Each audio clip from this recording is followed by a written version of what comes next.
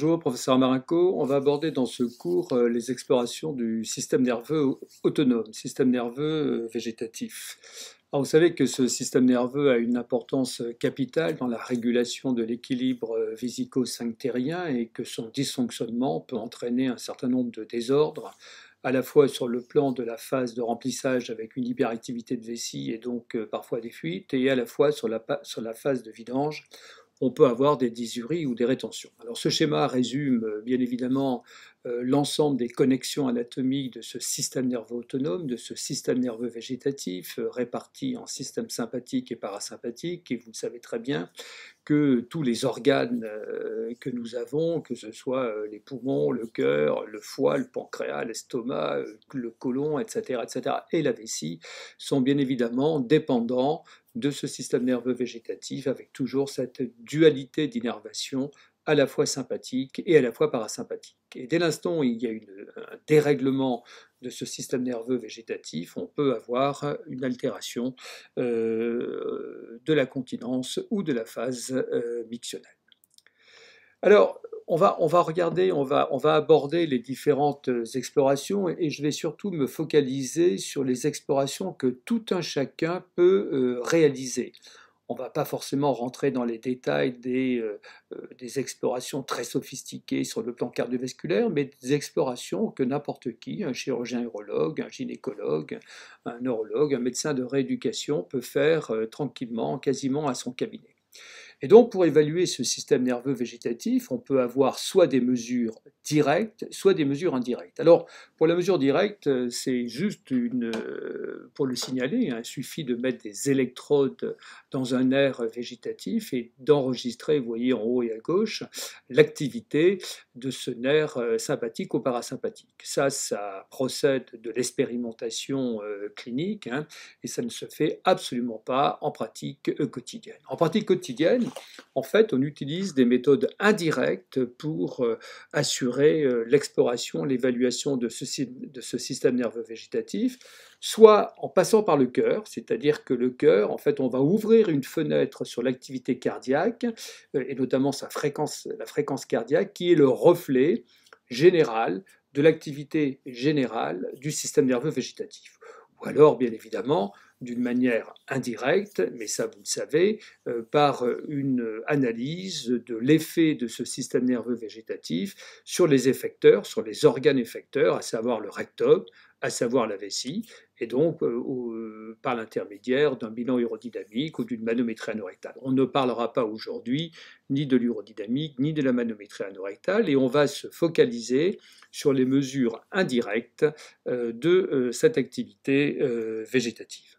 Alors, les, manifestations de, dysautonomie, euh, d'altération du système nerveux végétatif, on les connaît, hein, c'est des manifestations de l'ordre du système cardiovasculaire. Rappelez-vous le premier schéma que je vous ai montré. On peut avoir euh, une hypotension orthostatique, on peut avoir des syncopes, une, variation brutale, une labilité euh, tensionnelle.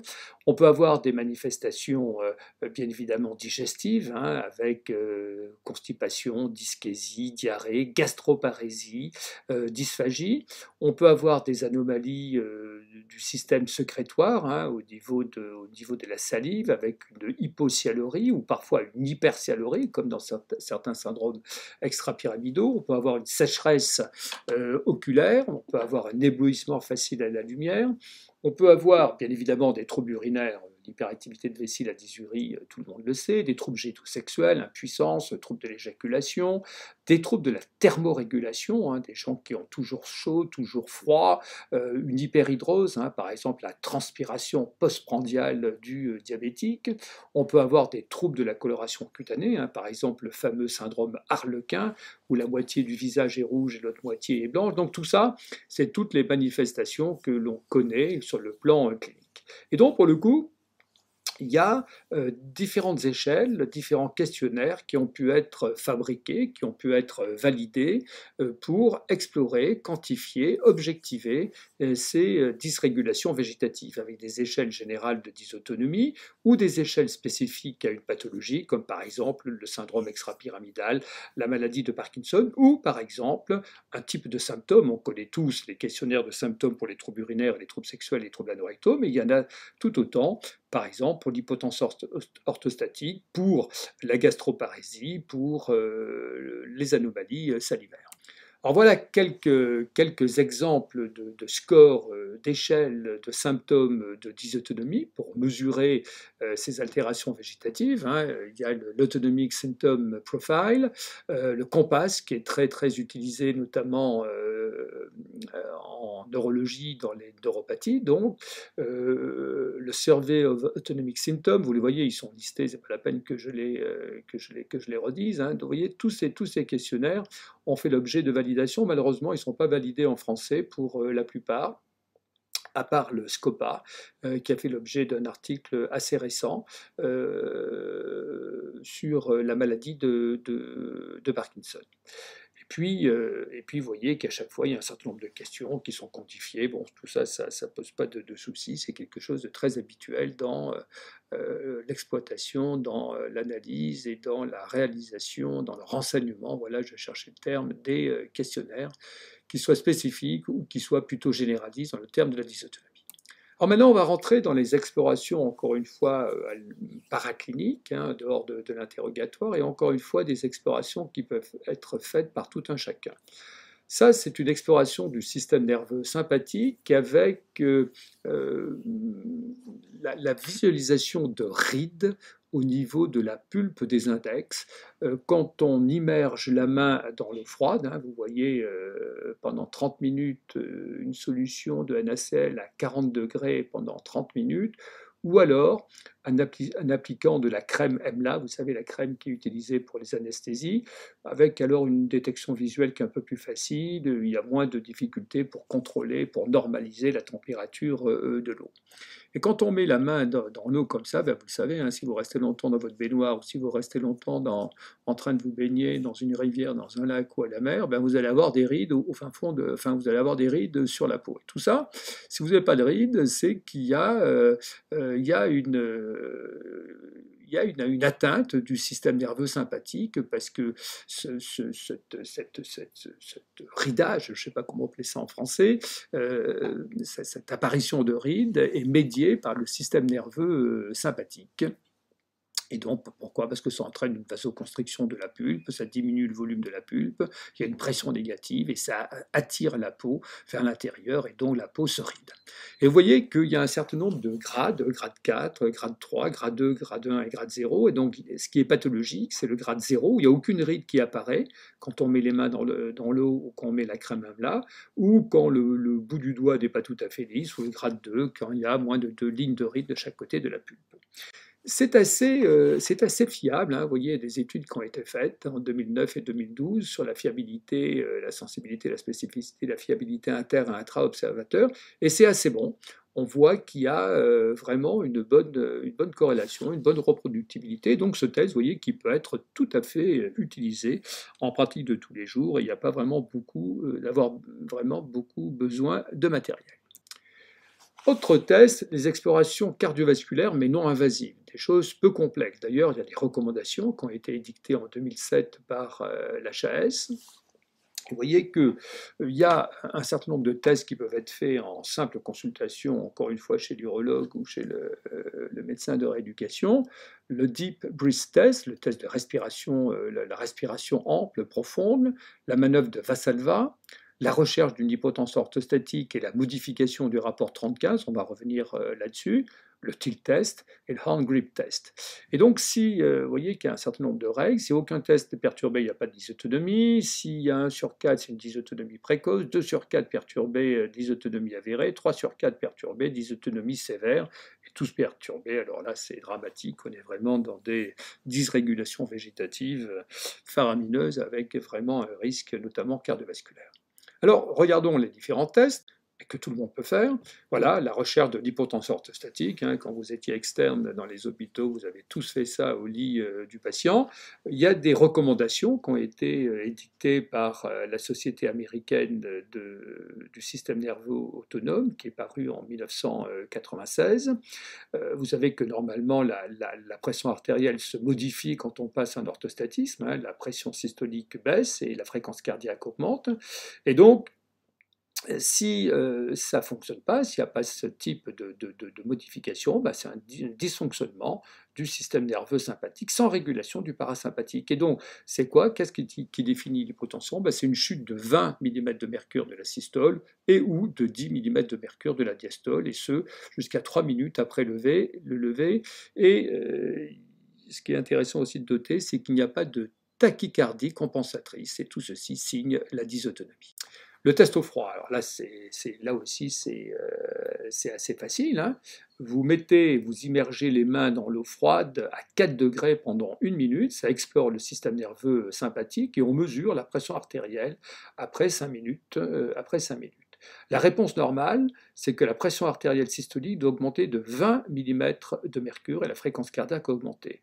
S'il n'y a pas de modification de la pression artérielle, eh bien vous êtes sûr qu'il y a une atteinte du système nerveux euh, sympathique. Vous voyez que c'est des choses simples et qui peuvent rapporter gros en termes de diagnostic de dysautonomie. Le hand grip test, alors là, il faut un tout petit peu plus de matériel, il faut un dynamomètre, hein, mais ça coûte euh, trois queues de cerise. Euh, en fait, il faut, euh, il faut enregistrer la force maximale et puis faire cette pression, cette force, exercer cette force à 30% de la force maximale pendant 5 minutes. Là aussi, on teste le système nerveux sympathique et la réponse normale, au bout de 5 minutes, on prend la pression artérielle qui doit augmenter de 15 mm de mercure et si ça n'augmente pas, eh ben, on est dans le cas du d'une dysautonomie, d'une altération du système nerveux sympathique, et ça a été montré comme très sensible dans la neuropathie végétative d'origine euh, diabétique. Vous savez que le diabète est très pourvoyeur de dysautonomie. La variabilité euh, RR pendant le Vassalval est un tout petit peu plus compliqué, encore qu'il faut simplement avoir un appareil d'électrocardiographie. On prend un appareil à tension, on le débranche de la petite poire et on va demander à la patiente de souffler dedans, pas de souffler, mais de faire ça à glotte fermée, c'est le Vassalva, pendant 15 secondes. Et on va mesurer la pression artérielle et mesurer euh, l'électrocardiogramme. on va mesurer le ratio de l'espace RR le plus long euh, après, jusque euh, sur le RR le plus court en fin d'épreuve et ce ratio est pathologique, inférieur à 1.10, euh, ça va signer l'altération du barreau réflexe. Autre test, la respiration ample profonde. Vous savez que quand on respire, on a une arythmie, hein, le, rythme cardiaque n'est pas totalement stéréotypé, il va varier en fonction de l'inspiration et de l'expiration. L'inspiration augmente la fréquence cardiaque et l'expiration la, la diminue. Et donc on va prendre un sujet, pendant une minute, il va faire des cycles respiratoires 6 euh, cycles, des respirations amples de 5 secondes, des expirations amples de 5 secondes, et la réponse anormale est définie par une fréquence inspiratoire maximale moins une fréquence expiratoire minimale inférieure à 10 battements par minute. Vous voyez là aussi, c'est assez simple, il suffit encore une fois d'avoir un appareil à ECG dans son, cabinet. Le ratio 30-15, c'est pareil, il suffit d'avoir un petit appareil euh, de CG, euh, ça va explorer le système nerveux parasympathique, son action sur la fréquence euh, cardiaque. Et donc, on va mesurer la fréquence cardiaque lorsque le patient se lève, lors d'un lever actif. Et donc, le ratio de 30-15, c'est le RR, c'est-à-dire l'espace RR hein, entre le complexe euh, QRS. RR le plus long au 30e battement, divisé par le RR le plus court au 15e battement. Et vous voyez que la réponse, que le ratio 30-15 anormal est inférieur à 1, ce qui veut dire que le ratio normal est supérieur à 1. vous voyez, c'est un test qui est assez simple, qui peut être réalisé dans une batterie de tests du système nerveux autonome pour chercher une dysrégulation euh, végétative. Alors, on, change de, rubrique et on sort du système cardiovasculaire. Vous avez vu tout à l'heure sur le premier schéma que les glandes salivaires étaient bien évidemment gouvernées par le système nerveux végétatif. On peut regarder cette sécrétion. Il y a déjà le, test au sucre qui est le plus simple. Hein, euh, on prend un sucre classique, on le laisse sous la langue pendant 3 minutes il est négatif, le test est négatif si le sucre a complètement fondu, et il est positif si le sucre est intact ou non complètement fondu. Alors bien évidemment, euh, tout ceci, euh, on doit faire attention s'il n'y a pas des médicaments anticholinergiques hein, qui peuvent modifier le système nerveux végétatif et diminuer la sécrétion salivaire. Et chez quelqu'un qui n'a pas d'anticholinergique, si le sucre n'est pas fondu, on peut être à peu près sûr qu'il a une dysautonomie. On peut aussi faire une débimétrie salivaire, c'est exactement comme un pas de test urinaire, hein, sauf que là on ne met pas des couches entre les jambes, on met une petite compresse euh, sous la langue qu'on va peser avant et après. Et eh ben c'est positif, s'il y a une différence inférieure à 0,5 g. Normalement, quand vous mettez votre compresse, vous devez saliver à plus de 0,5 g de salive. Vous voyez, là aussi, c'est très très simple. Le test de Schirmer, il suffit d'avoir le papier buvard, hein, il suffit d'en acheter, ça coûte là aussi trois queues de cerise vous mettez la languette euh, dans le cul-de-sac conjonctival, vous le laissez pendant 5 minutes, et le résultat normal, c'est que ça doit être supérieur à 1,5 cm à 15 mm en 5 minutes, et le test est positif, hein, c'est-à-dire qu'il y a 10 autonomies, lorsque l'imprégnation de ce buvard est inférieure à 1 cm, inférieure à 10 mm. C'est très facile, il n'y a pas besoin de matériel pour réaliser ce test. Là, c'est plus compliqué, mais on peut le demander. Euh, on fait un dosage euh, dans le sang et on va mesurer euh, les différentes catécholamines, hein, tyrosine, dopamine, adrénaline, noradrénaline, etc. Et vous savez que la variation de ces hormones eh ben, peut refléter, bien évidemment, une altération du système nerveux autonome. Je vais passer très rapidement sur les techniques euh, invasives et complexes, le type test. Là, il y a besoin d'avoir un véritable holter euh, tensionnel et un holter euh, cardiaque, de la fréquence cardiaque, pour mesurer les, variations. Et en plus, il y a des petits risques quand même, d'hypotension orthostatique grave. Donc ça, c'est vraiment à réaliser dans les centres spécialisés. Il y a les réponses cutanées sympathiques. Donc ça, c'est assez simple. Hein. Euh, c'est la, cutanée sympathique, c'est quoi? C'est une variation de résistance électrique. Euh, en fait, on enregistre l'activité électrique générée par les glandes sudoripares. Il suffit d'introduire un stimulus éveillant comme un clic sonore ou une question euh, bizarre ou une stimulation électrique du membre, par exemple. Ça va remonter au niveau du cerveau. Ça fait décharger, un peu comme les gens qui rougissent quand ils sont en proie à une émotion ça va faire décharger le, système nerveux végétatif et donc la glande sudoripare, et on enregistre, vous voyez les courbes, euh, des réponses cutanées sympathiques, une réponse électrodermique qui est parfaitement stable en latence et en amplitude, et quand elle disparaît, ben, ça signe une altération de la voie sympathique. Vous voyez que ça correspond à la loi du tout ou rien, c'est-à-dire qu'en pathologie, soit la réponse est là et c'est normal, soit la réponse n'est pas là et donc c'est pathologique. Ce n'est pas tout à fait vrai, probablement, mais il n'y a pas assez de travaux encore là-dessus. Probablement dans le futur, on verra s'il n'y a pas des modifications, on va dire, qualitatives de ces réponses cutanées sympathiques, encore une fois très simples et non invasives à réaliser. Ensuite, il y a des choses beaucoup plus compliquées euh, qui nécessitent des appareils d'enregistrement du rythme cardiaque pour mesurer la variabilité du rythme cardiaque. Vous savez qu'un certain nombre d'événements, de stress, la pensée, les émotions, la mémoire, le comportement, tout ça, ça va modifier le système nerveux autonome par le système sympathique et parasympathique et déterminer des variations du rythme cardiaque. On sait très bien qu'on est stressé, le rythme cardiaque va diminuer. Alors, il y a différentes structures cérébrales hein, qui sont associées à cette variabilité du système euh, euh, de, la fréquence cardiaque, du rythme cardiaque. Vous voyez l'abidal, hein, dans, le, dans lequel on sait que sont intégrées euh, les émotions, la substance périaqueducale, le cortex singulaire, enfin tout ceci, tout ce cerveau profond, bien sûr, joue dans le système nerveux végétatif et donc dans la variabilité de la fréquence cardiaque. Alors, euh, donc en fait, le cœur, euh, ça va être la fenêtre. On va utiliser, c'est un peu, rappelez-vous, quand on faisait des fonds d'œil pour euh, pour regarder le cerveau, c'est-à-dire que les petits vaisseaux de l'œil étaient le reflet des gros vaisseaux du cerveau. Mais là, c'est un peu pareil. On va regarder la variabilité physiologique et parfois pathologique du rythme cardiaque comme le témoin indirect du fonctionnement, de la régulation du système nerveux euh, végétatif. Et donc on va étudier ces fameux espaces RR, et là pour le coup, il faut euh, un appareil qui enregistre longuement, euh, entre 5 minutes et 20 minutes, le rythme cardiaque, et grâce à des analyses mathématiques du signal, et notamment les analyses par transformé de, de, Fourier, on va étudier la répartition, la balance sympathique, vagale, la balance parasympathique sur l'activité du rythme euh, cardiaque. Donc on a toute une série de, méthodes d'analyse fréquentielle, hein, notamment par des analyses spectrales de la variabilité. Vous voyez, c'est un peu plus compliqué et c'est vraiment dans les services spécialisés, bien qu'on ait maintenant des appareils qui puissent mesurer ça. Alors l'analyse de Fourier, c'est quoi? C'est la décomposition en gamme de fréquences d'un euh, signal. Vous prenez n'importe quel signal biologique, une pression, une lumière, une activité électrique, une fréquence cardiaque en l'occurrence, et donc comme vous le voyez sur le schéma à droite sur l'animation, on va modifier euh, cette, on va pas modifier, on va extrapoler à partir du tracé de base la euh, fréquence, la répartition euh, de la fréquence spectrale. Vous voyez ici, ça, permet de voir qu'à partir d'un tracé de, fréquence cardiaque, hein, ça c'est la variation de l'espace RR en haut en bleu, et à partir de là, cette analyse spectrale va nous permettre de déterminer des répartitions de fréquences, les, les fréquences très très, très très très basses, hein, les VLF, hein, Very Low Frequency, les euh, LF euh, et les HF, les High Frequency. Et donc tout ça, euh, ben, ça nous permet de dire si c'est sympathique ou parasympathique. Je vous les ai résumés sur ce tableau, vous voyez.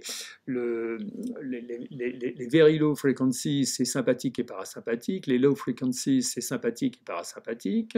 Les High Frequency, c'est parasympathique, essentiellement par le nerf vague. Et le rapport LF sur HF, c'est bien évidemment la balance sympathico-vagale. Et tout ceci bah, nous permet de faire des diagnostics de dysautonomie, mais très simple. Hein. en 20 minutes d'enregistrement, on sait euh, si c'est le sympathique ou le parasympathique qui est euh, atteint. Donc, je vous l'ai dit, c'est une autre manière de, voir les choses. Les hautes fréquences, encore une fois, c'est parasympathique, et les basses fréquences, c'est l'activité euh, sympathique. Alors les très très basses, hein, c'est surtout les régulations euh, pour la thermorégulation, la, vasométricité, et euh, avec les, mesures habituelles euh, spectrales, d'analyse spectrale par transformé de Fourier, c'est un peu plus difficile, il faut d'autres techniques un peu plus sophistiquées encore de l'analyse du signal. Mais ça, encore une fois, ça ne se fait pas partout. Alors, il y, a des, études qui ont été faites, vous voyez ici, chez des femmes qui ont une hyperactivité de vessie, euh, versus des volontaires sains, 40 femmes euh, hyperactives versus 131 volontaires sains, et vous voyez euh, que chez les patientes avec hyperactivité vésicale, on a une diminution des fréquences basses et des hausses fréquences, donc on a une altération de la balance sympathique et parasympathique. Voilà des études qui ont été faites en partie dans le service. Hein. Donc on voit qu'il y a une activité euh, parasympathique plus élevée euh, chez les femmes qui ont une hyperactivité de, vessie, euh, que chez les femmes qui ont une incontinence d'effort, on n'a pas d'anomalie de, la variabilité RR, et que le tonus sympathique des femmes avec hyperactivité de vessie augmente, bien évidemment. En fin de remplissage, c'est normal, le sympathique est là pour éteindre un peu cette hyperactivité du détrusor. Donc, vous voyez qu'il y a des études qui, ont été faites, qui, sont intéressantes. Les études ont été faites sur l'hyperactivité vésicale idiopathique. Hein. Voilà encore un papier au-dessus là, qui, a été fait, euh, euh, qui a été fait dans le service. Mais ça a été aussi euh, fait pour la prostate. Et on s'aperçoit que chez les patients qui ont une hypertrophie bénigne prostatique, vous savez qu'il y a beaucoup de gens qui ont une, une HBP et qui pour autant n'ont pas de symptômes. Et il semblerait que ces symptômes vont s'exprimer chez des patients qui ont une dysrégulation végétative à minima. C'est une très jolie étude qui a été faite en 2005 où les urologues s'étaient amusés à doser les, catécholamines dans, les, dans les urines. Ils sont aperçus qu'il y avait une corrélation entre l'hyperactivité, euh, du système nerveux autonome et euh, les scores habituellement utilisés euh, dans l'analyse quantitative des troubles du bas appareil urinaire secondaire à une hypertrophie prostatique.